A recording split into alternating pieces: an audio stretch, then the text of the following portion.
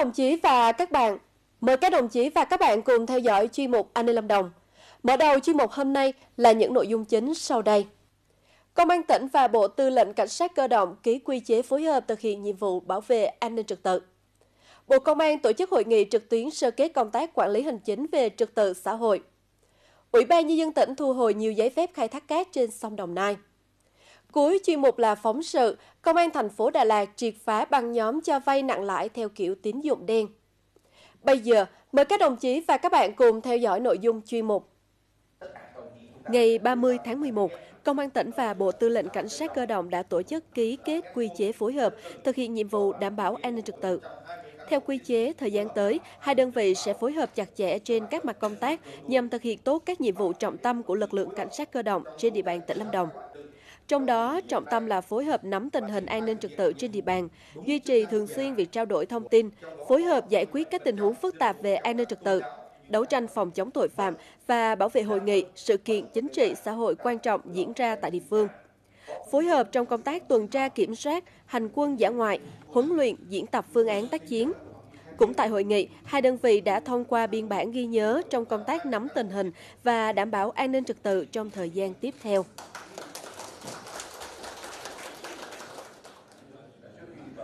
Bộ Công an vừa tổ chức hội nghị trực tuyến đến 63 tỉnh thành trên cả nước, tổng kết sơ kết một số chuyên đề trọng tâm trong công tác quản lý hành chính về trật tự xã hội.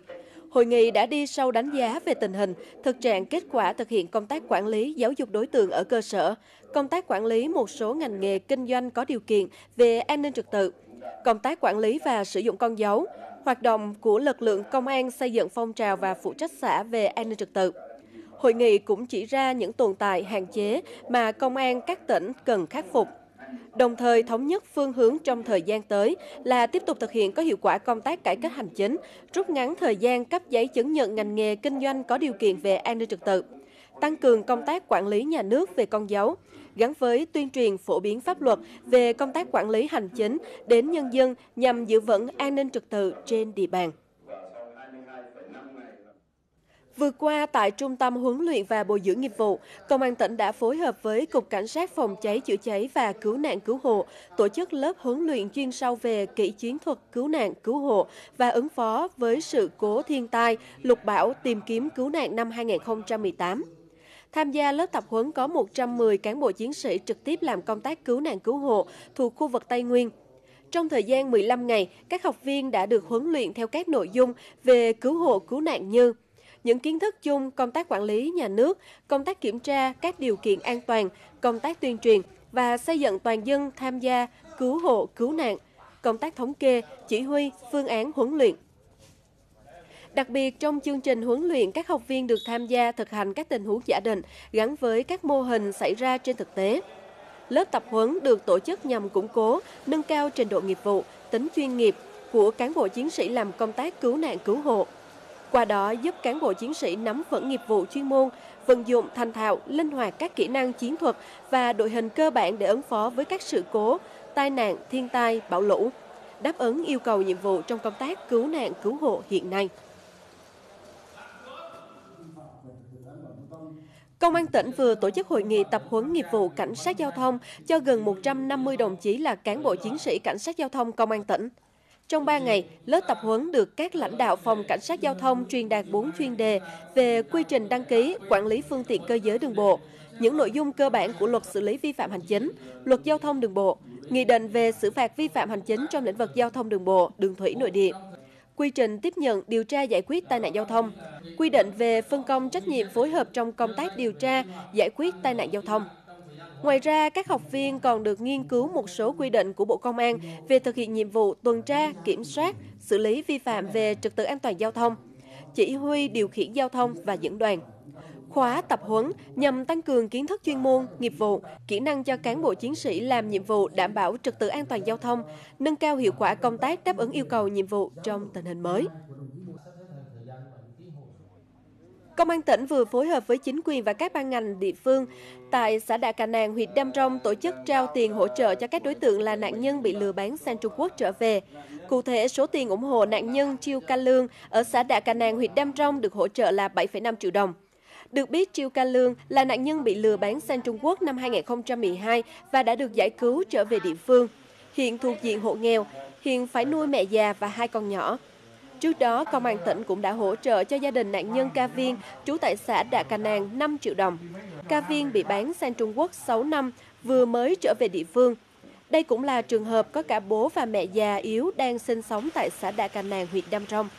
Việc hỗ trợ các nạn nhân bị bán sang nước ngoài trở về nhằm động viên giúp đỡ họ vượt qua khó khăn trước mắt, sớm ổn định cuộc sống, đặc biệt là nạn nhân người đồng bào dân tộc thiểu số tại tỉnh Lâm Đồng. Nằm sát mặt đường liên xã, cách trụ sở Ủy ban Nhân dân xã Tà In, huyện Đức Trọng, chỉ khoảng 1 km, nhưng tiểu khu 364 thuộc Ban Quản lý rừng phòng hộ Ninh Gia lại liên tục bị các đối tượng cưa hạ, chặt trắng cây rừng, lấn chiếm đất để sản xuất nông nghiệp. Toàn bộ phần diện tích ước đến vài hecta, chủ yếu là thông và cây dầu bị phá hoại cả mới và cũ, nằm dọc theo hai bên đường, dẫn từ xã Tà In vào các xã Đà Loan, Đà Quyên, huyện Đức Trọng. Tại những khu vực cây rừng bị chặt hạ đã xuất hiện những hố sâu khoảng 40cm, vừa được đào chuẩn bị xuống giống cà phê. Hạt Kiểm Lâm huyện Đức Trọng cho biết, từ đầu năm 2018 đến nay, do giá đất và nhu cầu đất sản xuất nông nghiệp tăng cao, một số đối tượng đã thuê người phá rừng, lấn chiếm đất để canh tác hoặc sang nhượng để thu lợi bất chính. Liên quan đến các vụ phá rừng tại tiểu khu này, chính quyền huyện Đức Trọng và các cơ quan chức năng đã tới hiện trường kiểm tra chỉ đạo giải tỏa những phần đất rừng đã bị lấn chiếm, đồng thời làm rõ hành vi phá rừng để xử lý nghiêm các đối tượng vi phạm. Thực hiện đợt cao điểm tấn công tội phạm bảo vệ Tết Nguyên đán kỷ hợi, Công an thành phố Bảo Lộc vừa triệt phá một tụ điểm thanh niên sử dụng ma túy tại nhà 37 trên 3, thôn 2, xã Đại Lào, thành phố Bảo Lộc. Tại đây, Công an thành phố Bảo Lộc đã bắt quả tang 6 thanh niên gồm Lê Thị Ngọc Vân, 21 tuổi, ngụ tại phường Lộc Sơn, Nguyễn Đức Phúc, 17 tuổi, ngụ tại phường 2, Nguyễn Ngọc Dũng, 20 tuổi, ngụ tại xã Đại Lào, Nguyễn Đức Lộc, 18 tuổi, Trần Thị Phương Hằng, 22 tuổi, cùng ngụ tại xã Lộc Châu và Hoàng Trọng Nghĩa, 21 tuổi, ngụ tại xã Lộc An, huyện Bảo Lâm, đang có hành vi tụ tập sử dụng trái phép chất ma túy. Tại hiện trường, lực lượng công an đã thu giữ một gói ma túy đá, 6 điện thoại di động và một bộ dụng cụ sử dụng chất ma túy. Hiện Công an thành phố Bảo Lộc đang gửi mẫu đi giám định và tạm giữ 6 đối tượng để điều tra, làm rõ. Công an thành phố Đà Lạt cho biết đang tạm giữ hình sự và tiếp tục củng cố hồ sơ để xử lý vụ trộm cắp tài sản, tàn trữ trái phép chất ma túy đối với Hoàng Hồ Dũng, 39 tuổi, và Trần Ngọc Hiển, 31 tuổi, cùng trú tại phường 6, thành phố Đà Lạt. Trước đó, ngày 6 tháng 12, Dũng chở Hiển lưu thông trên đường Hùng Vương thuộc phường 11 thành phố Đà Lạt. Khi đến trước nhà hàng Cao Nguyên thì phát hiện một xe ô tô không khóa cửa. Dũng đã lấy trộm túi sách, bên trong có 33 triệu đồng. Sau đó chia nhau mỗi người 15 triệu đồng. Số tiền còn lại, các đối tượng mua heroin để sử dụng và cất giấu. Nhận được tin báo, Công an thành phố Đà Lạt đã tổ chức truy xét và bắt khẩn cấp Dũng và Hiển. Tại cơ quan công an, cả hai đối tượng đã thừa nhận hành vi trộm cắp của mình. Hiện vụ việc đang được cơ quan công an tiếp tục đấu tranh khai thác. Ủy ban Nhân dân tỉnh Lâm Đồng vừa ban hành 3 quyết định thu hồi 3 giấy phép khai thác cát trên sông Đồng Nai, đoạn qua địa bàn huyện Cát Tiên của hai doanh nghiệp và một cá nhân, cùng các quyết định liên quan mà tỉnh đã cấp cho các doanh nghiệp cá nhân về việc khai thác cát. Theo đó, giấy phép số 63 của Ủy ban Nhân dân tỉnh Lâm Đồng đã cấp cho doanh nghiệp tư nhân Xuân Hà, giấy phép số 64 đã cấp cho công ty trách nhiệm hữu hạn Thanh Hằng, giấy phép số 105 cấp cho ông Nguyễn Tiến Dương thực hiện khai thác cát trên sông Đồng Nai. Nguyên nhân thu hồi là do khi khai thác, hai doanh nghiệp và cá nhân nêu trên vẫn tiếp tục để xảy ra sạt lở, vi phạm phương tiện khai thác như cam kết và thông báo số 50 của Ủy ban Nhân dân hai tỉnh Lâm Đồng, Đồng Nai. Sở Tài nguyên Môi trường sẽ thu hồi các giấy phép và quyết định nêu trên, đồng thời thông báo hết hiệu lực đến hai doanh nghiệp, một cá nhân cùng các cơ quan đơn vị liên quan theo quy định.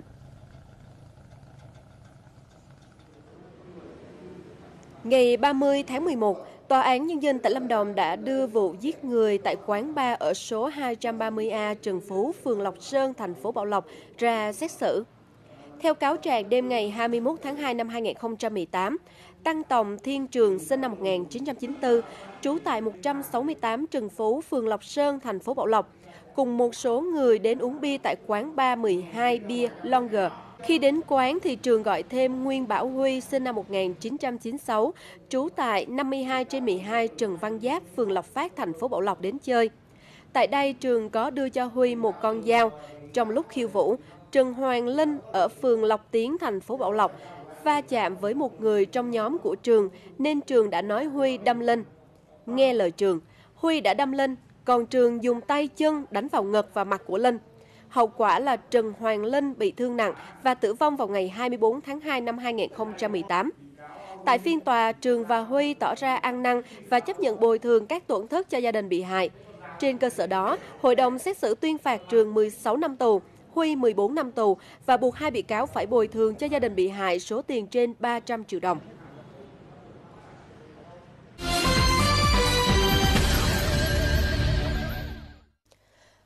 Thưa các đồng chí và các bạn, Công an thành phố Đà Lạt vừa triệt phá thành công băng nhóm cho vay với lãi suất cắt cổ. Với các thủ tục được vay quá đơn giản và nhanh gọn nên người dân dễ bị mắc vào bẫy của chúng. Chỉ tính riêng từ tháng 12 năm 2017 đến nay, nhóm của Lê Hải Nam vào Lâm Đồng xin giấy phép thành lập công ty trách nhiệm hữu hạn thương mại, dịch vụ kinh doanh trong lĩnh vực tư vấn tài chính, kinh doanh bất động sản và cho thuê xe tự lái. Nhưng thực chất đây chỉ là vỏ bọc để các đối tượng thực hiện hoạt động cho vay với lãi suất cắt cổ.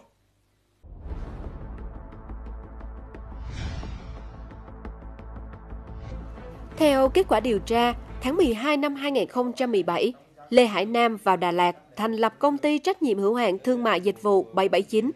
đứng tên giám đốc, kinh doanh trong lĩnh vực tư vấn tài chính, bất động sản, cho thuê xe tự lái. Tuy nhiên, thực chất đây chỉ là vỏ bọc để các đối tượng hoạt động trá hình bằng cho vay nặng lãi.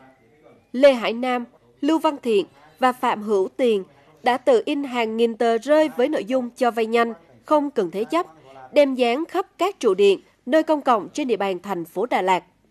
Điều kiện để được vay tiền của những đối tượng này là người vay chỉ cần có bản photo chứng minh thư và sổ hộ khẩu.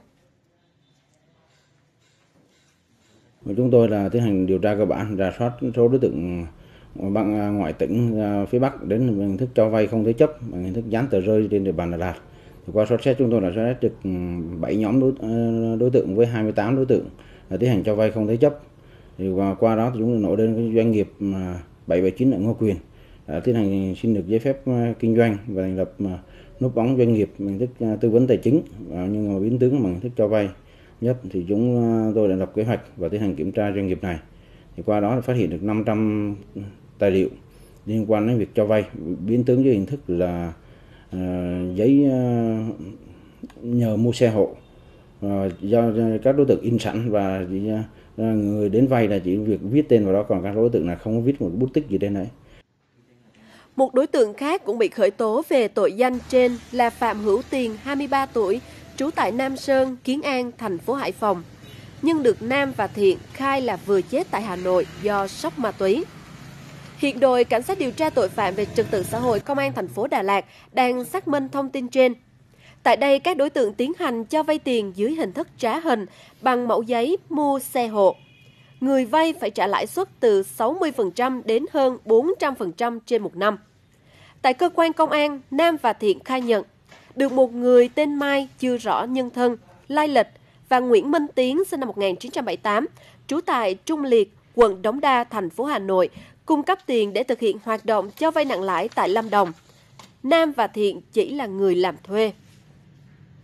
Khi ra đến em yêu cầu ra cần có số khẩu gốc và chứng minh thư gốc ở